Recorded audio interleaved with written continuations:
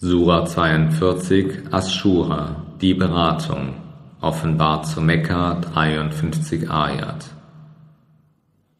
Im Namen Allahs, des Allerbarmers, des Barmherzigen, Chamim, Ein Sin Kaf.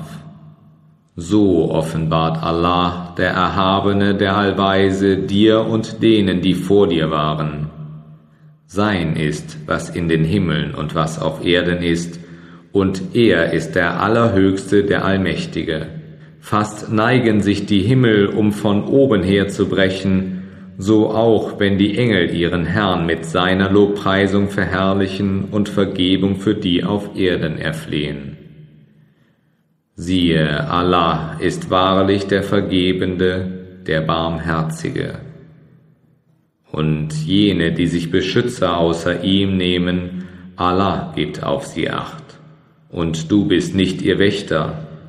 Und so haben wir dir den Koran auf Arabisch offenbart, auf dass du die Mutter der Städte warnest und alle rings um sie, und auf dass du sie vor dem Tage der Versammlung warnest, über den kein Zweifel herrscht. Eine Gruppe wird im Paradies sein und eine Gruppe im flammenden Feuer. Hätte Allah gewollt, hätte er sie zu einer einzigen Gemeinde gemacht. Jedoch lässt er in seine Barmherzigkeit ein, wen er will. Und die Ungerechten werden weder Beschützer noch Helfer haben. Oder haben sie sich etwa Beschützer außer ihm genommen? Doch Allah allein ist der Beschützer, und er macht die Toten lebendig. Und er hat Macht über alle Dinge. Und über was immer ihr uneins seid, die Entscheidung darüber ruht bei Allah. Das ist Allah, mein Herr. Auf ihn vertraue ich und zu ihm wende ich mich. Der Schöpfer der Himmel und der Erde. Er hat aus euch selbst Gattinnen für euch gemacht und Paare aus den Tieren darum vermehrt er euch. Es gibt nichts seinesgleichen, und er ist der Allhörende, der Allsehende. Sein sind die Schlüssel der Himmel und der Erde. Er erweitert und beschränkt dem die Mittel zum Unterhalt, den er will. Wahrlich, er ist der Allwissende aller Dinge er verordnete für euch die Religion, die er Noah anbefahl und die wir dir offenbart haben und die wir Abraham und Moses und Jesus anbefohlen haben, nämlich die in der Einhaltung der Religion treu bleiben und euch deswegen nicht zu spalten. Harat ist für die Götzendiener das, wozu du sie aufrufst. Allah erwählt dazu, wen er will, und leitet dazu den, der sich bekehrt. Und sie zerfielen erst dann in Spaltung, nachdem das Wissen zu ihnen gekommen war, denn unter ihnen entstand selbstsüchtiger Neid. Und wäre nicht bereits ein Wort von deinem Herrn über eine bestimmte Frist ergangen, wäre gewiss zwischen ihnen entschieden worden. Wahrlich, jene, denen nach ihnen das Buch zum Erbe gegeben wurde, befinden sich in bedenklichem Zweifel darüber. Zu diesem Glauben also rufe sie auf und bleibe aufrichtig, wie dir befohlen wurde, und folge ihren persönlichen Neigungen nicht, sondern sprich, ich glaube an das, was Allah an Buch herabgesandt hat, und mir ist befohlen worden, gerecht zwischen euch zu richten. Allah ist unser Herr und euer Herr, für uns unsere Werke und für euch eure Werke. Kein Beweisgrund ist zwischen uns und euch. Allah wird uns zusammenbringen und zu ihm ist die Heimkehr. Und diejenigen, die über Allah streiten, nachdem er gehört worden ist, deren Beweisführung vor ihrem Herrn ist nichtig. Auf ihnen ist Zorn und ihnen wird eine strenge Strafe zuteil sein. Allah ist es, der das Buch mit der Wahrheit und der Gerechtigkeit herabgesandt hat. Und wie kannst du es wissen? Vielleicht steht die Stunde nahe bevor. Diejenigen, die nicht an sie glauben, wünschen sie zu beschleunigen.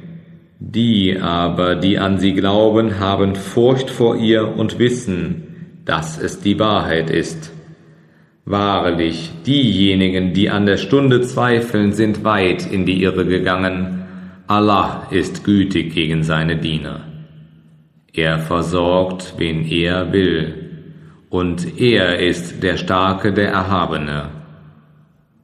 Dem, der die Ernte des Jenseits begehrt, vermehren wir seine Ernte, und dem, der die Ernte dieser Welt begehrt, geben wir davon, doch am Jenseits wird er keinen Anteil haben.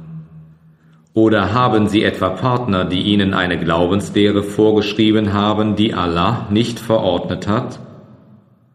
Und wäre es nicht bis zum Urteilsspruch aufgeschoben worden, wäre zwischen ihnen schon gerichtet worden. Und gewiss, den Frevlern wird eine schmerzliche Strafe zuteil sein. Du wirst die Frevler in Furcht sehen wegen dem, was sie begangen haben, und es wird sicherlich auf sie hereinbrechen. Jene aber, die glauben und gute Werke tun, werden in den Paradiesgärten sein. Sie sollen bei ihrem Herrn alles finden, was sie begehren. Das ist große Huld. Dies ist es, wovon Allah seinen Dienern, die glauben und gute Werke tun, die frohe Botschaft gibt. Sprich, ich verlange von euch keinen Lohn dafür, es sei denn die Liebe zu den Verwandten. Und dem, der eine gute Tat begeht, verschönern wir sie noch. Wahrlich, Allah ist allverzeihend dankbar. Oder sagen sie etwa, er hat eine Lüge gegen Allah ersonnen? Wenn Allah so wollte, könnte er dein Herz versiegeln. Doch Allah löscht die Falschheit aus und bewahrt die Wahrheit durch seine Worte.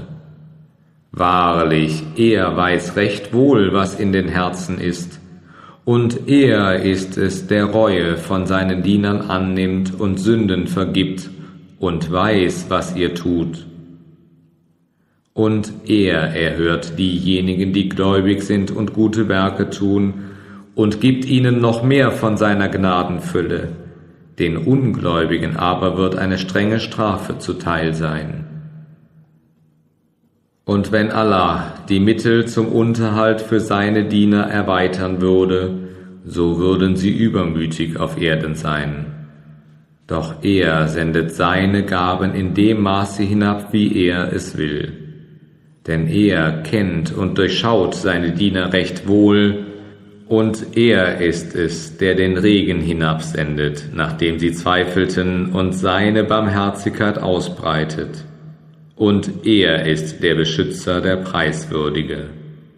Und zu seinen Zeichen gehört die Schöpfung der Himmel und der Erde und jeglicher Lebewesen, die er beiden eingegeben hat, und er hat die Macht dazu, sie allesamt zu versammeln, wenn er will.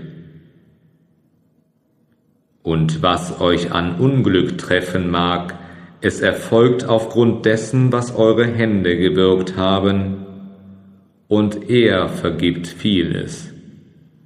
Und ihr könnt auf Erde nicht siegen, noch habt ihr einen Freund oder Helfer außer Allah und zu seinen Zeichen gehören die wie Berge auf dem Meer fahrenden Schiffe. Wenn er will, so kann er den Wind stillhalten, so dass sie reglos auf seiner Oberfläche liegen.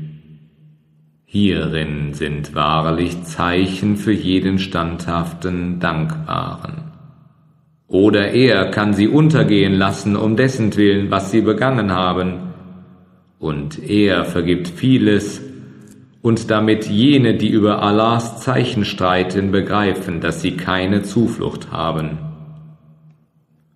Und was euch auch immer gegeben wird, es ist nur ein vorübergehender Genuss dieses irdischen Lebens, Und das, was bei Allah ist, ist besser und dauerhafter für jene, die glauben und auf ihren Herrn vertrauen.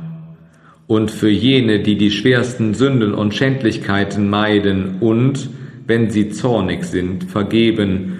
Und für jene, die auf ihren Herrn hören und das Gebet verrichten und deren Handlungsweise eine Sache gegenseitiger Beratung ist und die von dem spenden, was wir ihnen gegeben haben, und für jene, die sich wehren, wenn ihnen Gewalt angetan wird. Die Vergeltung für eine Übeltat soll ein Übel gleichen Ausmaßes sein. Dessen Lohn aber, der vergibt und Besserung bewirkt, ruht sicher bei Allah. Wahrlich, er liebt die Ungerechten nicht. Jedoch trifft kein Tadel jene, die sich wehren, nachdem ihnen Unrecht widerfahren ist. Tadel trifft nur solche, die den Menschen Unrecht zufügen und auf Erden ohne Rechtfertigung freveln. Ihnen wird eine schmerzliche Strafe zuteil sein. Und wahrlich, wer geduldig ist und vergibt, das ist gewiss eine Tugend der Entschlossenheit in allen Dingen.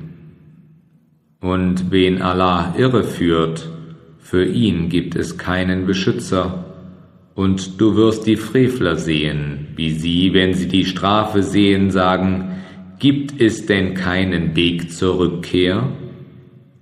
Und du wirst sie ihr ausgesetzt sehen, gedemütigt, voller Schmach und mit verstohlenem Blick schauend, Diejenigen aber, die gläubig sind, werden sagen, Wahrlich, die Verlierer sind diejenigen, die am Tage der Auferstehung ihrer selbst und ihrer Angehörigen verlustig gegangen sind. Wahrlich, die Frevler sind langdauernder Pein ausgesetzt, und sie haben keine Helfer, die ihnen gegen Allah helfen könnten und für einen, den Allah zum Irrtum führt, gibt es keinen Ausweg. Hört auf euren Herrn, bevor ein Tag kommt, den niemand gegen Allah verwehren kann. An jenem Tag wird es für euch keine Zuflucht geben, noch gibt es für euch irgendeine Möglichkeit, eure Sünden zu leugnen. Kehren sie sich vom Glauben ab so haben wir dich nicht als deren Wächter entsandt. Deine Pflicht ist nur die Verkündigung. Wenn wir dem Menschen von unserer Barmherzigkeit zu Kosten geben, so freut er sich über sie. Doch wenn ein Unheil sie um dessen Willen trifft, was ihre Hände vorausgeschickt haben, siehe, dann ist der Mensch undankbar. Allahs ist das Königreich der Himmel und der Erde. Er schafft, was er will. Er beschert Mädchen, wem er will, und er beschert Knaben, wem er will. Oder er gibt beide, Knaben und Mädchen, und er macht unfruchtbar, wen er will. Er ist allwissend, allmächtig.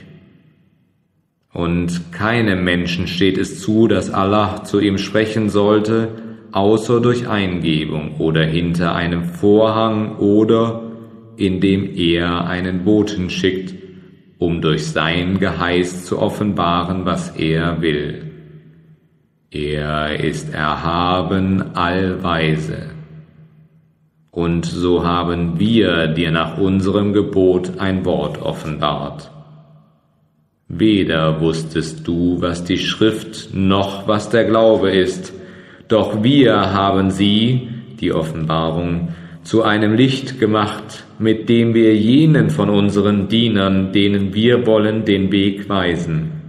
Wahrlich, du leitest sie auf den geraden Weg, den Weg Allahs, dem alles gehört, was in den Himmeln und was auf Erden ist. Wahrlich zu Allah kehren alle Dinge zurück.